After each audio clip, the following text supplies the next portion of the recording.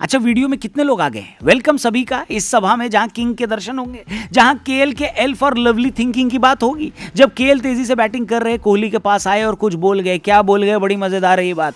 बताएँगे वीडियो में आगे एंड आज है बेंगलुरु में पाकिस्तान का ऑस्ट्रेलिया से मुकाबला। उसकी टीम बनाकर बताएगा अतिशय, ठीक है? वैसे यार पाकिस्तान या ऑस्ट्रेलिया किसको हराना चाहते हो आप कॉमेंट करके बताना। वैसे मेन पार्ट ये कि कल हम जीत गए बांग्लादेश के खिलाफ अपना वाला मैच ऐसा खेल देखकर दिल बाग बाग हो गया भाई साहब। नमस्कार, मैं हूँ रौनक, क्रिको पर आपका स्वागत है। पूरा इंडिया आज खुश है, क्योंकि बात ही खुशी की है। और win by seven wickets versus Bangladesh ये रिज़ल्ट है कल रात को, ये देखकर मूड सेट हो गया। सोशल मीडिया पर मैच से पहले ये तस्वीर खूब वायरल हुई, जहाँ बबूमा और बटलर को पता भी नहीं है कि उनके साथ कांड करने वाले उनके पीछे ही खड़े इसी क्रम में रोहित शर्मा के पीछे शाकिब खड़ा दिखा, जो मैच में नहीं खेल पाया। रोहित के पीछे श्रीलंका के दासुन शानका भी खड़े थे। वो वर्ल्ड कप से आउट हो चुके हैं और फिर खड़े थे केन मामा, ये भी अंगूठा तुड़वा बैठे हैं। भला हो ये फ़ोटो खींचने वाले का कि पीछे बाबर आज़म को नहीं खड़ा किया, वरना पाकिस्तान वाले भिंडू रोना रोते कि भैया इस फ़ोटो की वजह से हम लोग मैच हारे।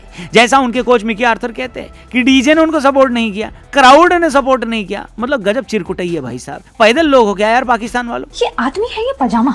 ये मानने में सुलझ जाती है आपकी कि ईस्ट और वेस्ट पापा इज़ द बेस्ट देखो और सीखो अपने लड़कों से कि कैसे मैच के बाद बोलते हैं कि भारत बहुत अच्छी टीम है हमसे वो बहुत अच्छा खेले। मान लेते हैं कि वो हार गए अच्छे बच्चे हैं। हाँ उनका नागिन डांस दिखाने का मौका मिस हो गया मगर ऊपर वाले से यही प्रार्थना करूँगा कि वो तुम्हारे आगे जीत जाए और नागिन डांस दिखाएँ।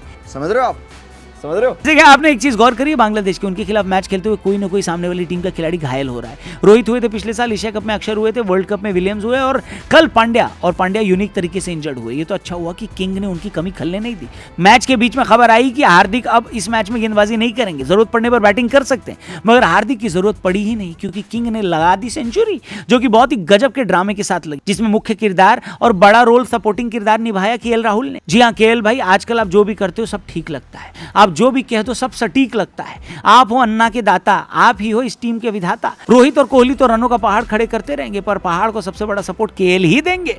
और इसी बात का गवाह बना क्रिकेटिंग वर्ल्ड, जब कोहली के सेंचुरी के चक्कर में केएल कर गए बांग्लादेश के साथ खेल, जब मैच में ऐसा सिचुएशन था कि इंडिया को चाहिए थे पंद्रह रन, कोहली को भी चाहिए थे पंद्रह, अपनी अड़तालीसवीं सेंचुरी के लिए, तब मैच के चालीसवें ओवर की तीसरी गेंद से खेलने लग गए नॉन स्ट्राइकर एंड पर खड़े राहुल। जब राहुल ने सिंगल लेने से कोहली को मना कर दिया, ओवर की अगली बॉल गई सीधे स्टैंड में छह रन, अब सिचुएशन हो गया नौ बॉल पे नौ रन। ओवर की आखिरी बॉल पर अब एक सिंगल लेकर कोहली ने स्ट्राइक अपनी तरफ़ रख ली। खुद केएल कूल ढंग से कोहली को सेंचुरी के लिए पुश कर रहे थे। फिर शुरू हुआ अगला ओवर, पहली गई डॉट, दूसरी गई वाइड। इस बीच केएल तेज़ी से भागकर कोहली के पास आए और कुछ बोल गए। क्या बोल गए? बड़ी मज़ेदार बात है केएल ने कहा, टेक के भाग जा भाई, दो भाग लेंगे। और ऐसा दोनों ने दो बार कर दिया। बांग्लादेश जो छक्कों का वेट कर रहा था, उनके सामने ये चार रन भाग कर ले लिए कोहली और राहुल की जोड़ी ने। मैच पहुँचा बयालीसवें ओवर में, जहाँ कोहली की ही स्ट्राइक थी। पहली बॉल लेग स्टंप की तरफ़ से बॉलर ने जानबूझकर फेंकी। अंपायर रिचर्ड भैया ने उस गेंद को वाइड ही नहीं दिया। इस बात पर भाई को इंडिया का आधार कार्ड तो मिलना ही चाहिए कि नहीं? क्यों? अंपायर के वाइड न देने से पूरा भारत खुश हो गया और ड्रेसिंग रूम में तो खिलाड़ियों की हँसी ही नहीं रुक रही थी। अब मैच जीतने से ज़्यादा सबको इंटरेस्ट था विराट की सेंचुरी में।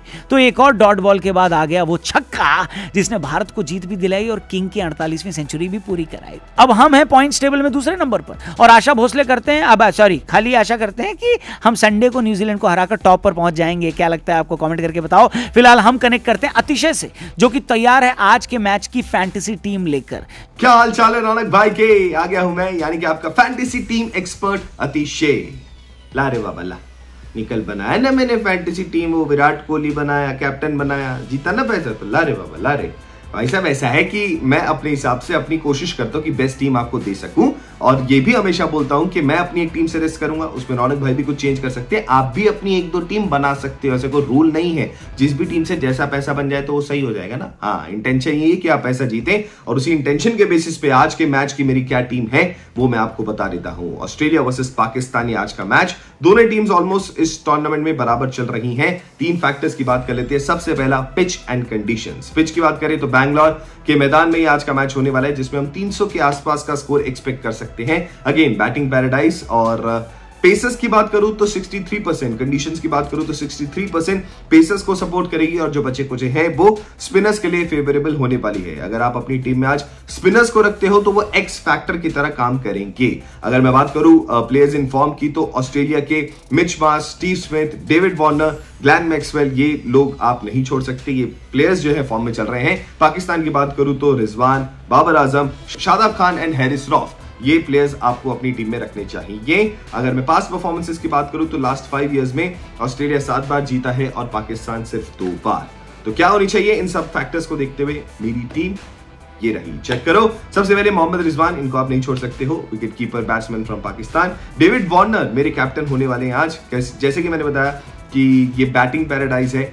लास्ट मैच में जिस तरीके से डेविड वार्नर आउट हुए थे, उसका बदला पक्का आज ये निकालेंगे। स्टीव स्मिथ रहेंगे उनके साथ। बाबर आज़म ये भी नहीं चले हैं। दो तीन प्लेयर से बड़ा प्लेयर जब रुक जाता है तो फिर चल जाता है। बाबर आज़म मेरे वाइस कैप्टन रहेंगे इसके साथ शफीक भी मैं लूँगा फ्रॉम पाकिस्तान। ये बैटर कैटेगरी हो गई ऑलराउंडर्स में Glenn Maxwell, Mitch Marsh and Shadab Khan. ये तीन रहने वाले हैं। बोलर्स में Adam Zampa, Josh Hazlewood and Haris Rauf. हाँ शाहिन शाह मैंने नहीं लिया है।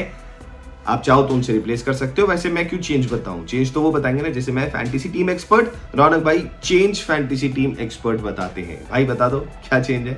बढ़िया तो अतिशय की टीम तो आपने देख ली लेकिन मेरी टीम क्या होगी वो भी आपको इस वक्त स्क्रीन पर दिखाई दे रही है। जॉन सी भी आपको सही लगे वो कॉपी कर सकते हो और बढ़िया सा पैसा जीतने के बाद हमको क्रेडिट नहीं दोगे तो भी हमको चलेगा। यार तुम जीतो हम जीते एक ही बात है, है कि नहीं? तो चैनल सब्सक्राइब करके जाना बोले तो हमारा क्रिको थैंक यू फॉर वॉचिंग जल्दी मिलते हैं जय हिंद।